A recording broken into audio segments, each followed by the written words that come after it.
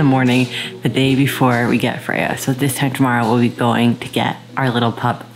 And I was just thinking that it's our last day as just two people in our little family. And it's like a really big decision to get a dog. And it's one I've been thinking about for so long. But then now that it's finally here, like I'm nervous. Like I'm so excited, but I'm also like, this is a really big responsibility. And I feel like Lou and I are responsible people but I I don't know. It's like everything is about to change. Having a dog here, you know, we've been able to just do whatever we want, go wherever we want, change our minds all the time. and now we have this like other little creature that's gonna be part of our decision making process. And I think it's gonna be so special and add such a beautiful layer to our life and we're so excited to have a little animal companion and to train her and to make her feel happy and like part of the family but it's also like nerve wracking like i hope we do a good job oh also today is our final day of preparation so we're going to do a little bit more planning on our daily routine with her, make a few note cards so that we can have easy access to the training things that we want. Lee's gonna build a ramp because I guess with German Shepherd puppies, their hips, like you really gotta be careful with them so that they stay healthy their whole life. So she can't go up and down stairs till she's like three months old. And so we're gonna, Lou's gonna build a little ramp on our stairs so that she can just walk up easy peasy. And yeah, the crate is made, the lights are put out so that we can walk easily at night to take her out to the bathroom. And is there anything else we need to do, Lou? I think that's kind of. I think that's kind of it. Like we're ready. We got the water bowl, the food bowl, we got the dog food, we've got training treats, we've got a leash, we've got a collar, we got some chew toys. We've got, yeah. I think that's all you really need. We've got a lot of love to give this little pup, but we're gonna take it very easy. We're gonna be very calm and let her get used to us. 24 hours left without a puppy.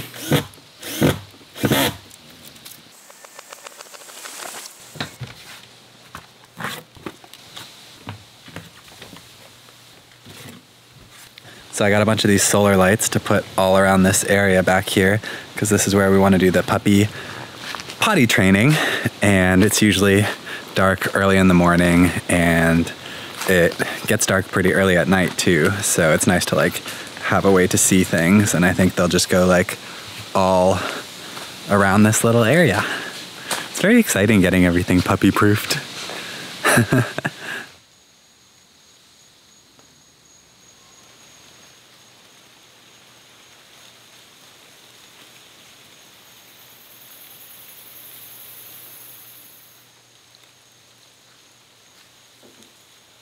All right, the lights are in action. Pretty cool. This will be the spot right here. Beautiful moon tonight.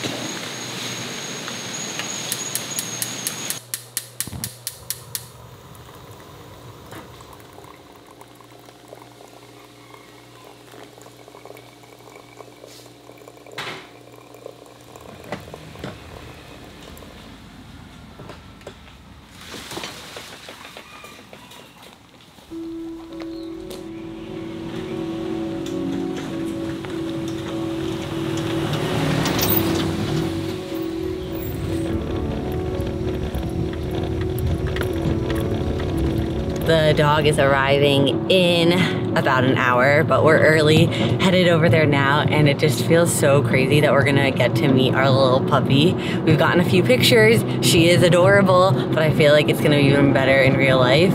This is my first puppy ever, and something that I truly have been waiting for my entire life. So 30 years in the making, and it just feels so unreal. Like even packing a little bag with all her supplies, like her water bowl and her leash, and all these things, it just feels insane because I was like the kid who would sit in the library and read every single dog book and prepping for this it was like taking me back to like my eight year old self like wishing I had a dog so bad and now like it's actually happening and so just feels crazy but in the best way so hopefully she loves us and she hasn't had too long of a journey and yeah, we'll keep you posted. It's really exciting. Lou's driving.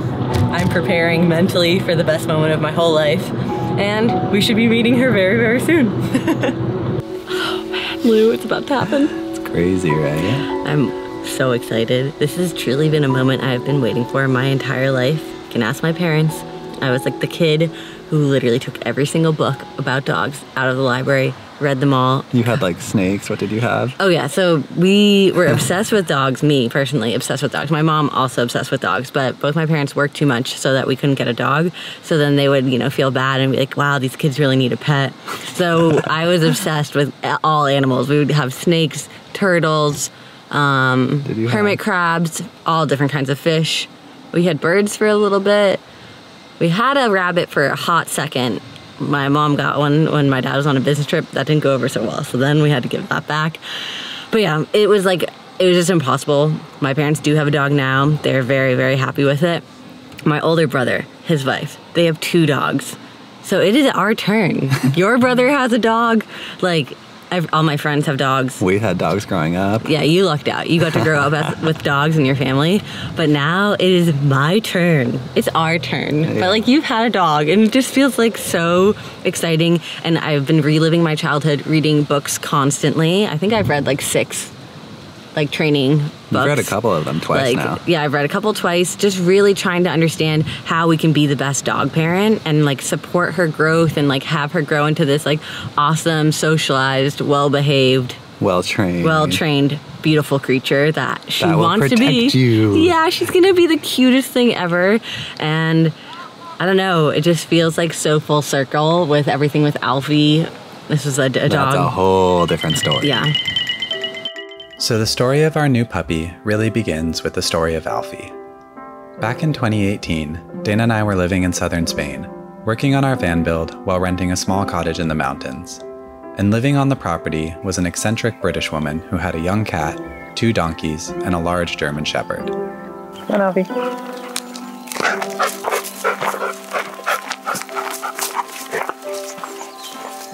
Where's your stick? Over the months, our bond with Alfie grew, and eventually we'd find him at our front door each morning, waiting to come join us on the van build. He always wanted to be close by, watching us build out the van, stirring up trouble with the donkeys, and lounging about in the dirt. In the evenings, I'd edit the weekly video, and Dana often went up alone into the mountains to walk with Alfie. The mountain path was pretty remote, but occasionally she'd meet strangers up there, and those encounters are when I started to realize the incredible potential of a large German Shepherd for personal protection.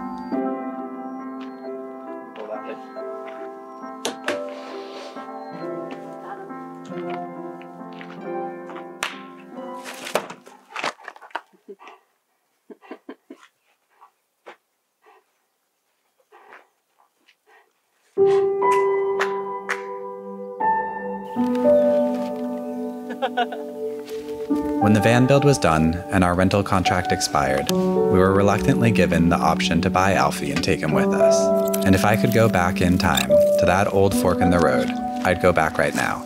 I'd rebuild the van interior to accommodate a dog. I'd travel to less hot climates, move slower, stay in the van longer, maybe never end up on a boat at all, and thereby avoid what happened in Croatia in 2019.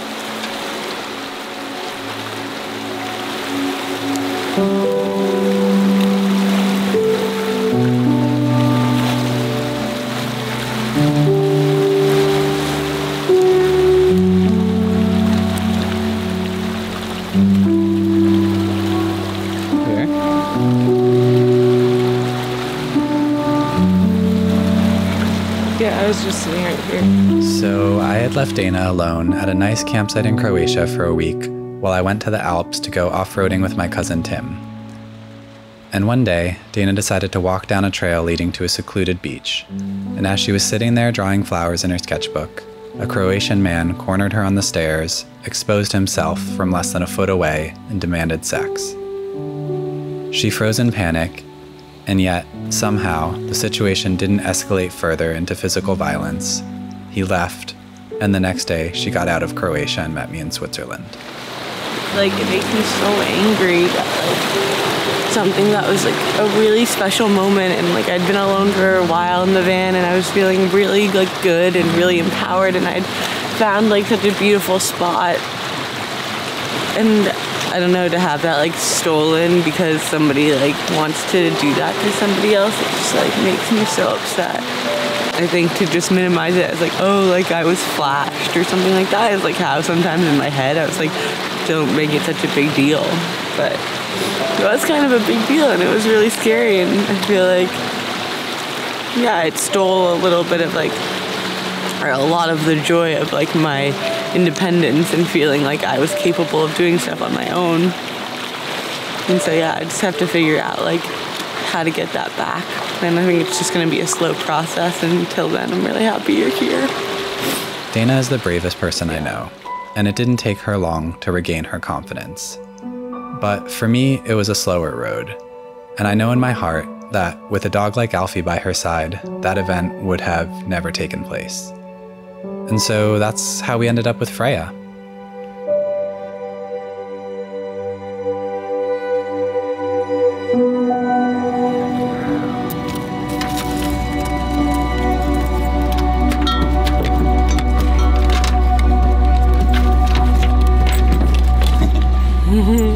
Everything.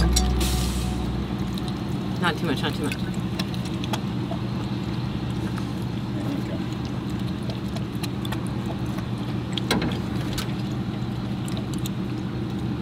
One more?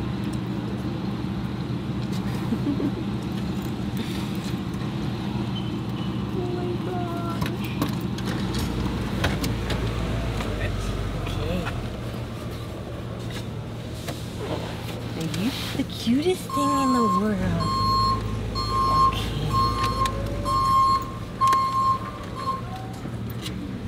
We're all good. Hands, toes, and tails inside. Everybody's in.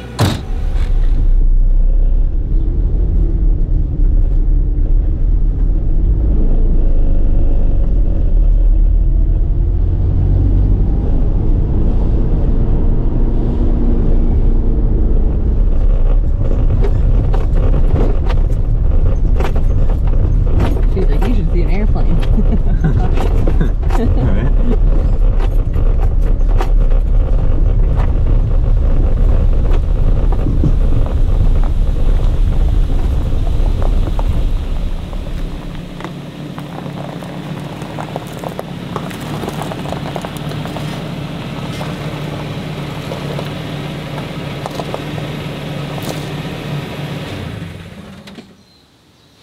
All right, girls. Okay. You're home. You're home, Freja. home. She is the best dog in the world. Okay. You're here. Good girl. Come here. go. Good girl. There's more. Come on. Mm-hmm. Good girl. Come on. Yes. Yeah, you're doing it. Yeah, you're so brave. You're brave. Come on. Come on. Good girl. Come on. There's more. Yeah. There you go. Good job, little Freja. Good job. All the way up the stairs. Yeah. Yeah.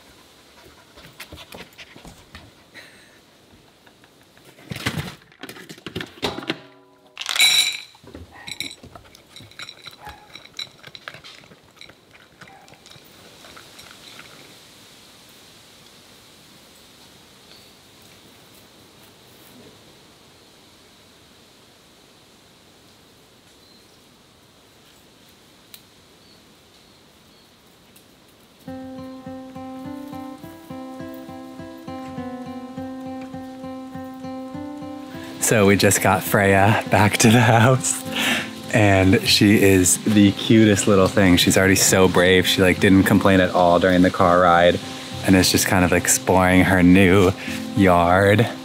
And it's just so much fun having a puppy. It like brings me back to when I was a little kid and we had dogs.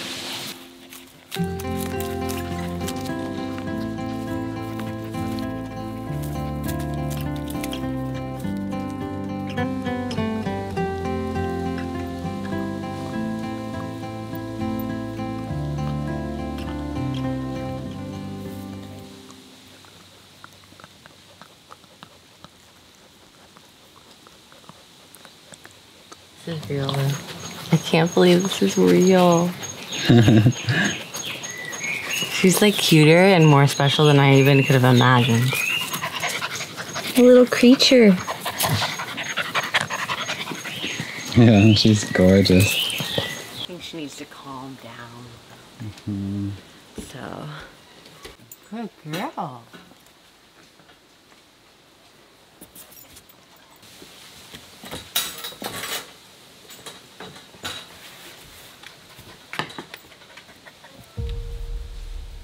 Freja, come here. So we bought this little pup from a local woman on the Big Island who has been breeding working line German Shepherds for decades. These are the dogs you typically see at the airport, sniffing bags, and sometimes in the army as well. They have enhanced drives, bond intensely to their handlers, and are exceptionally intelligent and clear headed. They can make great family dogs, but the last thing I would want this video to do is inspire someone to go out and buy a working line German Shepherd without doing adequate research. These dogs require massive amounts of energy into training them properly, hours of exercise a day, and if they aren't properly taken care of, they have the capacity to make your life miserable at best and dangerous at worst. Once Freja is trained and we have the space to add additional dogs to our pack, Dana's dream is to rescue a few older dogs from a kill shelter. Growing up, my family rescued a few dogs, and I can tell you from personal experience that the love you get from a rescue dog is a different kind of love altogether. An older, fully house trained dog from the pound can be a much easier, less expensive option, which is why we will be going down that route for at least our next two or three dogs, because this little girl is a handful. I think humane dog ownership is about asking yourself what it is you want from a dog and what you are prepared to give in return. Rescuing dogs from the shelter is one part of the solution, but so is making sure they don't end up there to begin with. So if you want a chill dog to watch Netflix with on the couch and don't feel like training much, don't get one of these. I wanted a dog that Dana could take on her own in remote areas and feel safe with, whose appearance alone would be intimidating to strangers, and whose loyalty to Dana would be unbreakable. I wanted a dog who could learn quickly, exercise for hours on end, and potentially even do search and rescue work in the future. And I'm hoping little Freja can accomplish all that.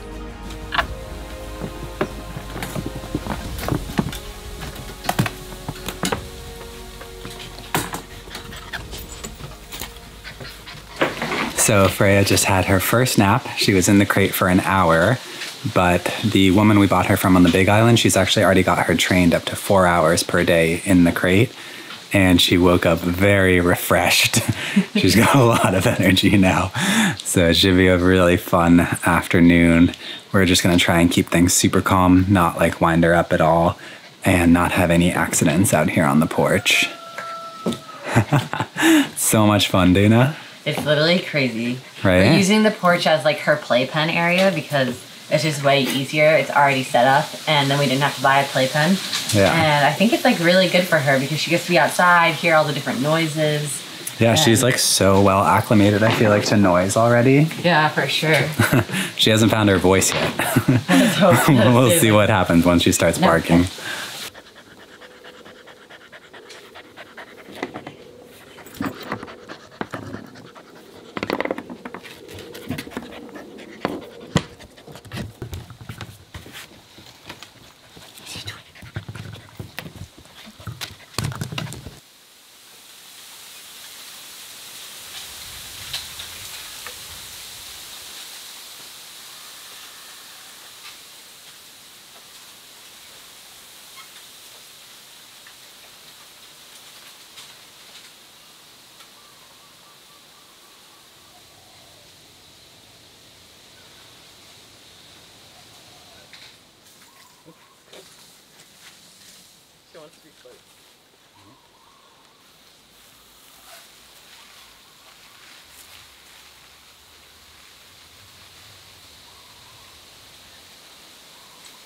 She's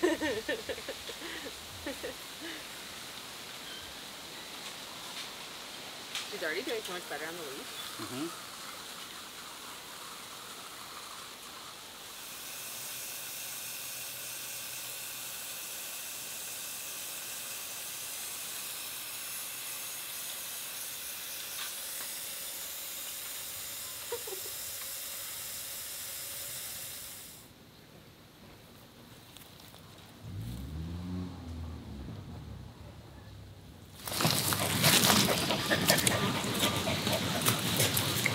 One way to avoid an accident never go inside.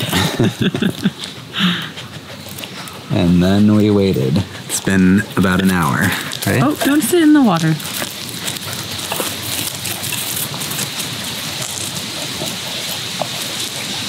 Yeah, I feel like that's like not totally house training. If you like never go back inside. I think it is. It is? Yeah, that's the trick.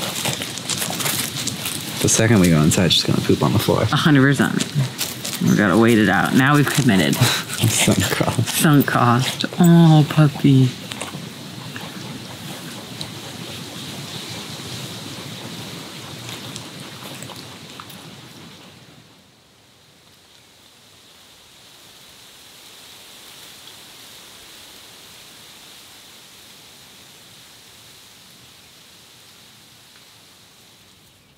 Freja, go potty. Go potty.